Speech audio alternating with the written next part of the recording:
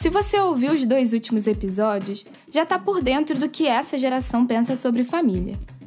Foi isso que a Fundação Tid Setúbal tentou descobrir quando convidou alguns jovens para contar suas histórias e compartilhar alguns dilemas. O Caio Santos, que você já deve conhecer, tem 28 anos e mora no Recife. E é na voz dele que a gente está tentando descobrir, quando o assunto é família, o que pensa essa geração.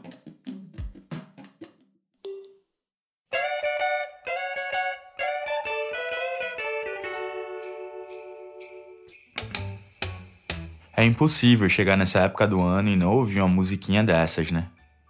Em todo canto toca isso. Então é Natal. E o que você fez? É tipo aquelas tias perguntando das namoradinhas: O que você fez? Eu sei lá o que eu fiz, pô. Eu sobrevivi, tá ligado? Painho sempre tira onda que isso é o suco do Brasil em dezembro. Mas enfim, o fato é que dezembro é sinônimo de amigo secreto dando treta e perucado no forno. E tá caro mesmo. Eu nunca tive isso com o dia 24 de dezembro. Essa coisa de ficar esperando, ansioso, comprar roupa nova, mas eu sei que para muita gente é o dia importante para reunir a família. Só que esse ano, o dia mais importante de dezembro para mim é o dia 26. É o dia que eu e Sheila vamos dizer sim um pro outro. Na verdade, na verdade, a gente vai dizer sim de novo. Só que dessa vez diante de um monte de gente, dos convidados do nosso casamento. Essa parada de família grande reunida no final do ano para ceiar nunca foi uma tradição para mim. Porque, tipo assim, Natal, Natal mesmo, geralmente eu só vivi com o pessoal que mora por aqui. Painho, Maninha e Rani, minha irmã. Foram poucos natais que eu passei com a minha avó materna e meus tios. Uma coisa que rolava era ir na véspera, no dia 24, para casa da minha avó Marina, lá no Chié, e ficar até mais ou menos umas 8, 9 da noite. E depois voltar para jantar em casa, em Olinda. E como eu prometi, acho que eu vou aproveitar o clima natalino desse episódio para contar para você sobre o Chié e minhas duas avós. Mano, é, a minha infância, ela, ela é meio dividida, assim, em, do, né, em dois espaços, né? Era o espaço da minha casa, dos meus pais, eles estão lá até hoje, inclusive, que é ali em Casa Caiada, né? Um apartamento que o pai comprou no final de, dos anos 90. Mas, na realidade mesmo, o, o, o grosso da minha infância, assim, de vivência, de, de é, relacionamento, tá ligado? De brincadeira e tal, era na casa da minha avó, no Chié. Como mãe e pai trabalhava muito, do, do, os dois trabalhavam, né? É, vovó muitas vezes me buscava no, na escola. E aí vovó ia me buscar, ela morando já, ela sempre morou lá no Chié, então, tipo, ela tinha que se locomover pra caralho, e ela ficava até, sei lá, 8, 9 horas da noite, quando meus pais chegavam para poder ir voltar para casa tinha muito medo, assim, tipo, é, é longe, tá ligado? E, não é, era uma época que, é, enfim, é, é anos 90, no final dos anos 90, em Pernambuco, ela pegava uma Kombi, né? É, acho que é isso, tipo, a, a minha infância foi essa, é, tá nessas duas realidades. Era meio impossível não ver a diferença do, das duas coisas. Quanto mais eu fui crescendo, obviamente, isso foi ficando mais nítido para mim, assim. É, gosto, porra, coisas até simples, como tipo gosto da água, tá ligado? Era diferente. Coisas que, que eu não.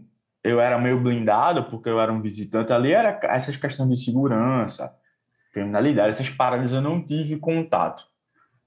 E eu comecei a ver também essa coisa da, da casa da minha avó, onde era, né? Comecei a ouvir as pessoas falarem sobre favela. É, tipo, porra, o que é uma favela? O que é isso aqui, isso aqui. É, primeiro, a virada de chave aconteceu também porque ficou parecendo uma obrigação ir na casa da minha avó. Eu comecei a parar de ir. E aí um dia o pai perguntou, disse que eu tava com preconceito, sei lá, tipo, começou a falar sobre essas coisas, de, tipo, não, tu não quer ir lá porque tu tava morando na favela, tu não quer é, comer lá, tomar banho, beber água, tal, porque tu tá com isso, aquilo, outro. Tipo, foi uma parada que meio surgiu do nada. E, obviamente, eu era adolescente, né, gente? Então, assim, críticas a gente deixa pra lá. Eu não, eu não parei para refletir sobre isso. Mas, mais velho, as, as coisas né, vieram, assim. Minha avó Marina é importante demais para mim. E é a pessoa que eu mais sinto falta. Adolescente é um bicho besta. Não reflete direito, não ouve crítica, mas essa do meu pai faz sentido. Entre o Xie e a realidade que eu vivia no dia a dia entre brancos de classe média em Olinda, as diferenças eram gritantes. Minha avó nunca cobrou minha presença no Xie. Ela me recebia toda vez do mesmo jeito doce de sempre. Desde criança, ela sorria e dizia que eu era um menino lindo. O que definitivamente não era uma coisa que eu ouvia todo dia por onde andava. Pelo contrário. Eu me orgulho do podcast que eu fiz sobre Xie. É uma forma de valorizar o lugar que me trouxe a vida praticamente, onde as raízes da minha família estão fincadas. Do outro lado da família, na Bahia, tinha minha avó Palmira. E era outra cabeça, outras ideias, outro modo de viver eu a via bem menos, só uma vez por ano, nas férias. Eu admiro a força dela, admiro sua fé, sua resistência com as dores que enfrentou. Ela sempre fala pra gente ir pra igreja. Do jeitinho dela, ela tá tentando nos salvar. E foi assim que ela criou todos os filhos, incluindo Maninha e meu tio Samuel, sobre quem eu tenho falado nesses três episódios. Sei que faz anos que a gente não se fala. Porém, mesmo com a distância e considerando que eu tô perto de me casar, muitas lembranças da minha vida vieram à tona ultimamente. A última vez que falei sobre ele aqui, eu tinha criado coragem e mandado aquela mensagem, que fez ele ficar offline e nunca mais aparecer. Então, eu decidi insistir. Tô te mandando o convite para tu dar uma olhada. E uma carinha feliz com dois pontos e uma banda de um parênteses. Bem cringe, sabe? Junto dessa mensagem, eu mandei uma imagem de um papel branco com umas folhas verdes na parte de cima. Numa fonte bonita estava o meu nome, junto com o de Sheila, bem no centro. Mas para quem está acompanhando essa temporada, acho que a coisa mais importante vem agora. Na parte de baixo estava escrito: Você está convidado para o nosso casamento. Pois é, eu convidei o meu tio. E terminei dizendo: Só isso mesmo. Fique bem. Foi muito difícil decidir se eu ia ou não mandar todas essas mensagens. Primeiro, porque desde que eu comecei a repensar sobre tudo o que aconteceu com a minha família, eu tenho sentido uma grande tristeza. E segundo, porque eu acho que mereço sim um pedido de desculpas. E eu não recebi ele de ninguém. Às vezes eu sinto que é muito cômodo para os homens da minha família. Eles podem fazer e falar o que quiserem e ainda são apoiados pelo grupo, deixados em sua zona de conforto. Então, quando eu tomei a decisão de pegar o número do meu tio Samuel, deu um bug na minha cabeça e um frio na barriga. Não por medo da resposta, mas por estar traindo a mim mesmo. Talvez por isso eu tenha deixado bem claro na mensagem o tempo que ficamos sem nos falar. Falar dessas histórias aqui para você que está me ouvindo me ajudou a lembrar o que eu quero. Um bem comum na política em todos os aspectos. E isso inclui minha família também. Não adianta encarar meu tio como inimigo, mas apenas como alguém que pensa diferente e que foi capaz de cruzar uma linha que acaba separando ele de mim. Mas no fim eu senti uma certa paz, confesso, por ter conseguido passar por cima de todas essas mágoas e por saber que as escolhas políticas dele têm mais a ver com as dores dele do que comigo. Bom, você conheceu essa história a partir do meu ponto de vista. Mas como eu acredito na democracia, para entender o tamanho dessa treta, eu decidi chamar uma parte da minha família para contar a versão deles desse Caios de Família.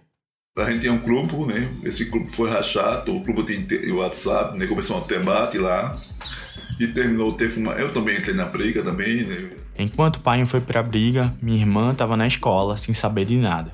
É, eu silencio meus grupos também, porque tipo, eu tiro barulho do WhatsApp. E quando eu vejo, eu tô no meio da aula, eu abro o celular, abro o grupo, tem umas 100 mensagens. Aí eu fiquei meio sem entender. Ai, Já amanhã tava acompanhando tudo, mas totalmente dividida. Porque, querendo ou não, é meu irmão. Meus irmãos vêm de igreja, né? Eu também vim da igreja, mas eu eu fiz uma trajetória diferente deles, né? Então, foi muito difícil passar por aí. Ainda, tá, ainda é um pouco difícil. Tá menos agora, mas já foi muito difícil. Porque era como se eu estivesse do outro lado e, e passa um pouco a, a questão assim racial, a intolerância. É muito difícil estar do lado de cá, sabe? De usar, de ver coisas que você aprendeu na inocência ser utilizado como forma de machucar as pessoas, dividindo assim, a família em duas partes. No lado da minha família, praticamente não houve nenhum racha. Até porque todo eu e meu irmão somos militantes, éramos militantes antes de nos casarmos. Minha esposa foi militante, e a esposa de, da, de meu irmão, participou da luta também. Nossos filhos são todos envolvidos em política. Do lado da família de Dalet, realmente houveram problemas de relacionamento muito sérios, né? A família praticamente rachou, né? Eu acho que meus irmãos, eles se arrependeram. Eles não assumem mais. Gasolina está quase sete reais, né? Então, meu irmão, de certa forma, teve, teve muitas empresas que ele trabalhava, ele é contador, e ele perdeu a empresa porque as empresas faliram. Então, não tem como hoje entrar na, na defesa de Bolsonaro como era quando foi a eleição, né? como eu, foi uma discussão muito grande, ninguém pediu desculpa, eu entendo o ressentimento dele. Eu também tenho meus ressentimentos com meus tios e tudo mais. É, a gente sempre se sente meio distanciado por não morar lá. Eu entendo muito bem como ele sente. E entendo muito bem o. Entendo muito a frustra- frustração dele. Eu espero que para o ano não seja tão pesado assim, mas numa tanta carruagem que talvez com a cunhada ainda seja. Eu também espero, pai. Ouvir a versão de outras pessoas da minha família foi interessante. Na época da treta, em 2018, eu achei que eles iam brigar comigo por eu estar falando o que pensava e rompendo com aquela política de boa vizinhança que rolava no grupo. Mas não. Eles estavam ali, junto de mim, entrando no debate e se posicionando. Vi que eu tinha entendido realmente a educação que eles me deram. Até minha irmã, que costuma não se envolver tanto, também se posicionou. Eu lembro que isso surpreendeu meus tios. Ali eu sentia aquela coisa forte que falam de família, de se juntar e ir pra cima, sabe? Mesmo com todas as nossas diferenças, quando o assunto é política, a gente costuma se afinar e cantar no mesmo tom. E ir pra luta juntos. Sem medo.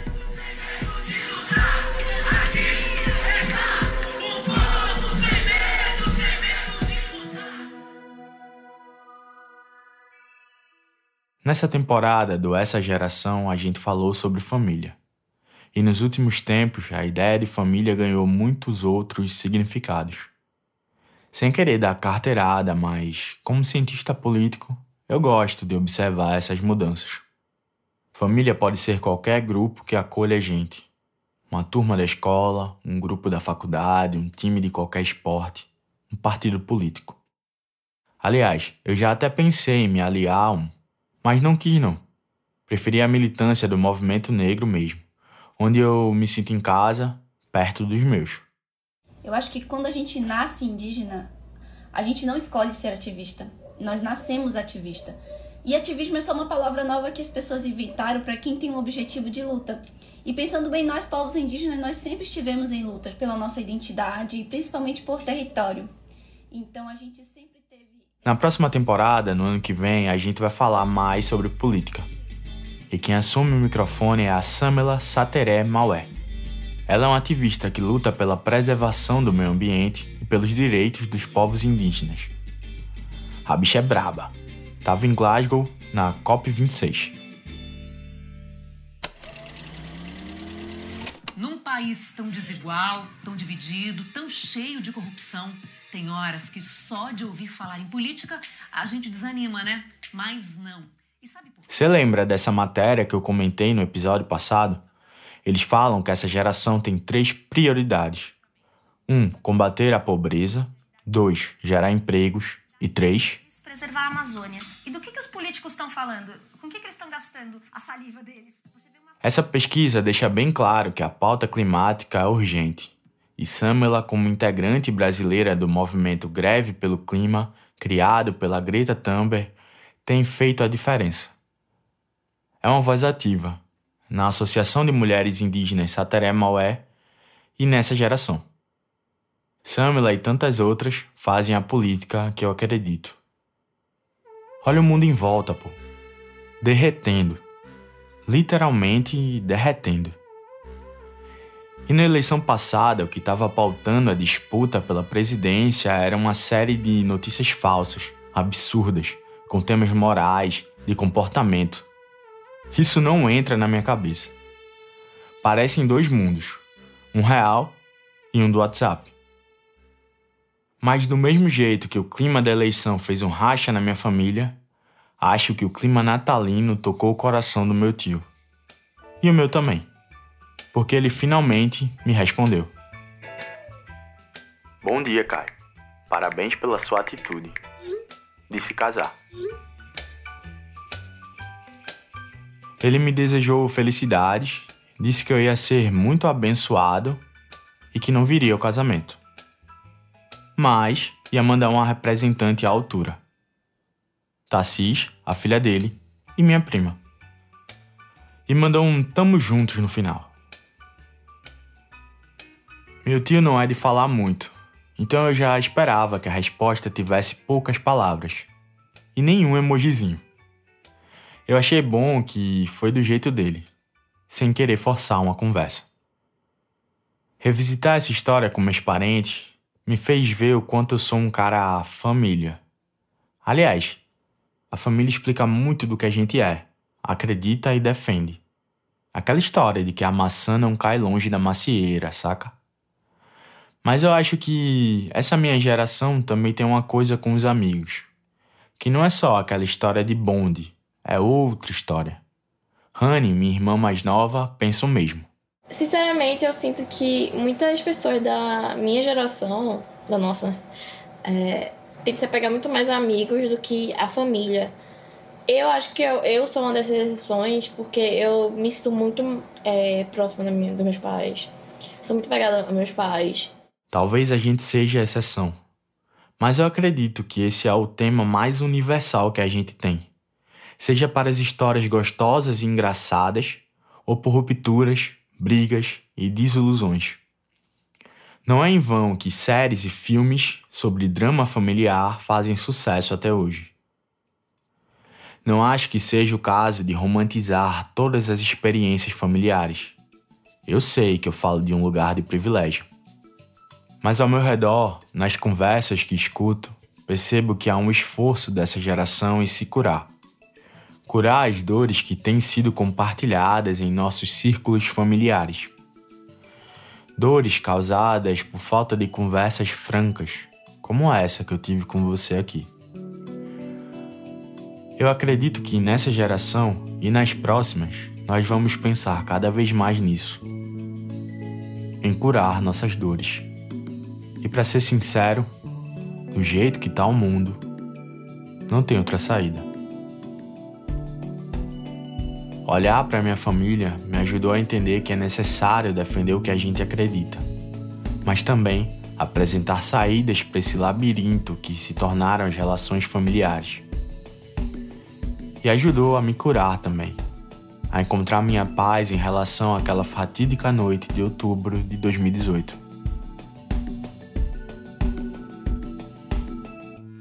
Mesmo sendo muito diferente dos meus tios, quando eu paro para pensar nos passos que vêm de longe, das minhas avós e até antes delas, eu percebi que vale a pena fazer pequenos gestos, como de mandar um simples convite.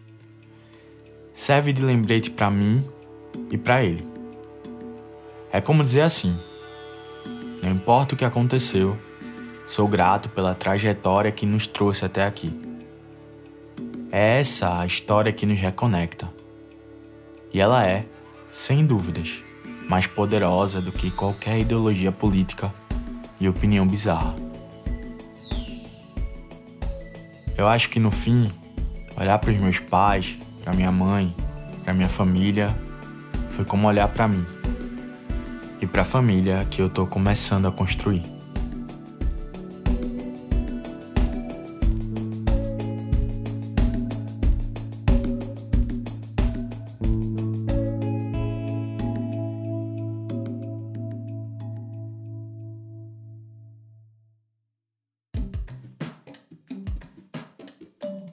Na próxima temporada, você vai continuar descobrindo o que pensa essa geração junto com Samela e seus dilemas sobre política. Essa geração é uma produção da Rádio Novelo para a Fundação TID Setúbal. A coordenação geral por parte da Fundação é da Fernanda Nobre e do Márcio Black. E quem responde pelo digital e pela identidade visual é o Amaury Eugênio e a Gaia Vieira. Pela Novelo, a coordenação geral do podcast é da Paulo Scarpim e do Renan Suquevicius. O roteiro é assinado por Edu Araújo e a produção é tocada pela Bárbara Rubira. A edição e a sonorização são da Júlia Matos e a mixagem é do João Jabassi, da Pipoca Sound. A nossa música tema foi composta pelo Chico Correia. A coordenação digital é da Bia Ribeiro, que também faz a distribuição e a locução. Nesse episódio, você ouviu áudios da TV Globo e da Globo News. Bom, eu acho que é uma geração que tá se discutindo mais coisa, tá deixando sentimentos mais abertos, é, tá com.